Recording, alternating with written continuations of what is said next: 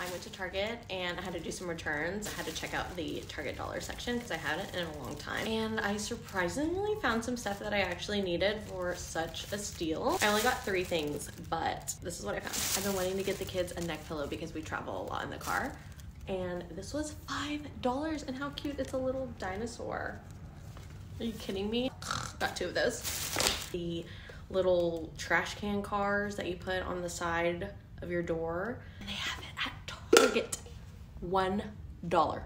One freaking dollar. It comes in this color and this color. Like we only have two cars, but I feel like I need like one in every door. So I probably am gonna get more. Last one, this is a quick haul. Um, were these sunglass cases. I've been needing sunglass cases, but it opens up.